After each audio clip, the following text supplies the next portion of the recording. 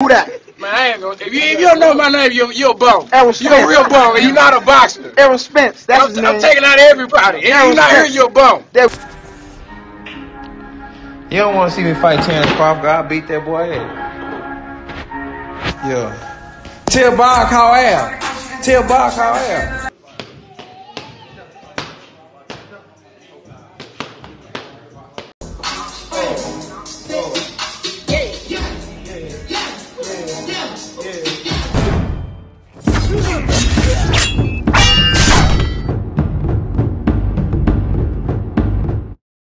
What's going on, you guys?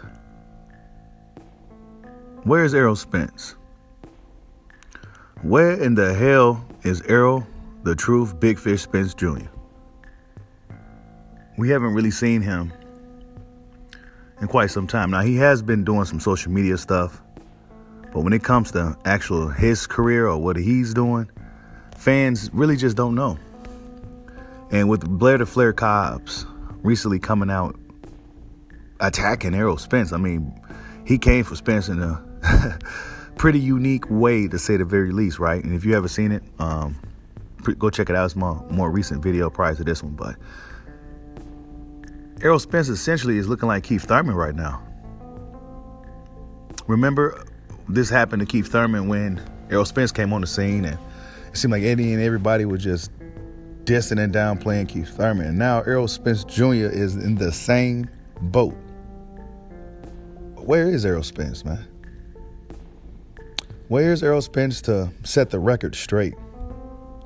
Where's Errol Spence to provide his fans some closure as far as the because his fans been out here for weeks taking bullets, right?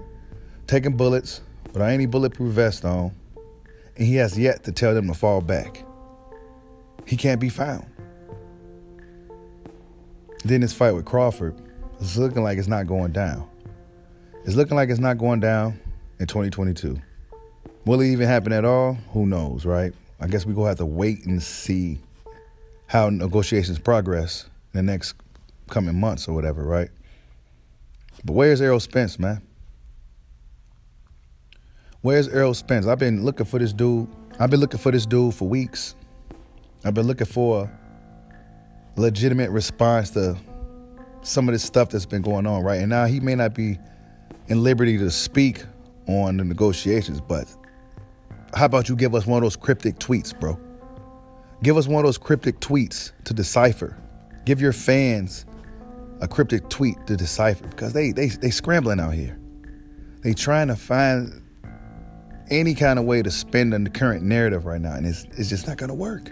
Why? Because it reached mainstream. It reached mainstream. ESPN. You got guys like Michael Buffer coming out giving his thoughts on the Crawford Spence fight.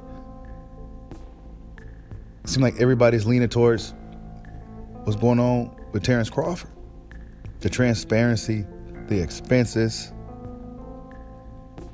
If this all this stuff is true, Errol Spence need to come out and, and, and, fix it, set it straight, right? When you look at Crawford's family, they seem to be pretty annoyed. They seem to be pretty annoyed that this thing ain't going down yet. A lot of fans looking at it, are they are they aging Crawford out? 35 years old now. Of course, he's gonna be 35 years old regardless, but we still hasn't got this fight. Where's Errol Spence? We had his fans coming out here. Say something, bruh. Like his fans is practically begging him to come out and say something, bruh. Say something. You even got some people, some fans, some former fans that's kind of turning left cheek to him now. Because they just can't no longer rap with this behavior, bro. You know what I'm saying? And I like Errol Spence. And this is why I'm questioning, like, bro, you need to come out here and say something, dog. Because it's a far cry from what it was back in the day when you was the boogeyman. Because now you looking like Keith Thurman out here. Even Keith Thurman's calling you out. Blair the Flair Cobbs is calling you out. You gotta answer that. You gotta address that Blair the Flair Cobbs shit, bro. Some dudes say, "Oh, you you co-signing a clown shit." I ain't co-signing anything. If anything, you co-signing a dude that's acting like a coward right now. There's no way in hell Blair the Flair Cobb should went up on camera and did all that and said all that to Errol the Truth Big Fish Spence Jr. You ain't sitting that high up atop of the mountain. You ain't sitting that high, bro. There's still a lot of shit going on down here, bro. So where you at? Because your name ain't looked at in a positive light right now. And this is actually pretty surprising, considering Errol Spence is a beloved fighter, in my opinion. Silence means compliance. So is this stuff true with Terence Crawford? Terence Crawford did everything everybody asked of him. So I ain't trying to hear no no no negative shit about Terence Bud Crawford. Yeah, he may have shouldn't have signed with Bob Arum at that particular time, but we are way past that now. He did everything else he was supposed to do. So why don't we get in this fight in 2022? It's crazy, man. Errol Spence fans should be concerned. We haven't seen him on IG since like August 30th. It's already October. He just went dark. Is he training? Is he preparing? Is he getting his mind right? What is the big fish doing?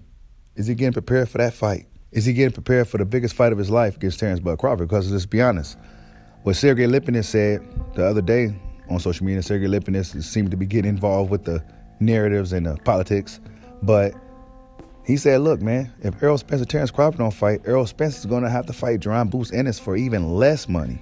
And then what?